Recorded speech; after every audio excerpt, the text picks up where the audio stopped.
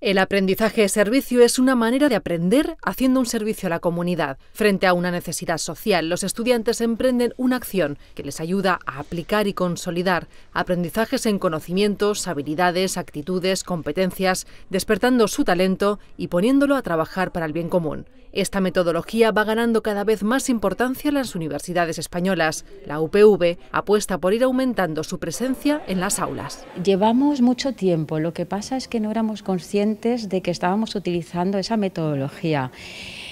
Como metodología, gracias a los cursos que se han ido realizando, bien por el Centro de Cooperación al Desarrollo o bien desde el ICE o de común eh, acuerdo, Hemos aprendido que estamos haciendo APS desde el año 2014. Ya somos conscientes, lo hemos ido integrando de una manera más formal en los programas de las asignaturas. La metodología aprendizaje-servicio puede utilizarse para la enseñanza de cualquier disciplina.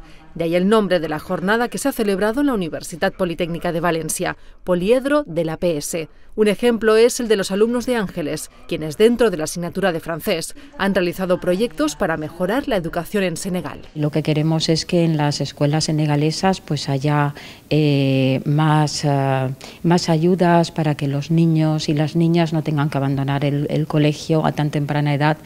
Entonces los estudiantes cuando conocen ese contexto y conocen las necesidades, lo que hacen es diseñar un proyecto para solucionar un poquito, para mejorar eh, ese aspecto de la vida escolar.